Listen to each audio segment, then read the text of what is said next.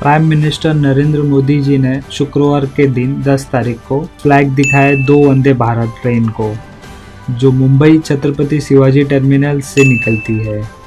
तो आपको बता दें कि ये मुंबई शिवाजी छत्रपति टर्मिनल से निकल कर यानी कि मुंबई से निकल कर सोलापुर जाएगी, और जो दूसरी ट्रेन है मुंबई से निकल कर साईनगर शिरडी जाएगी। तो इन दोनों ही ट्रेनों को श्री नरेंद्र मोदी जी ने हरी झंडी दिखाई और इनको विदा किया।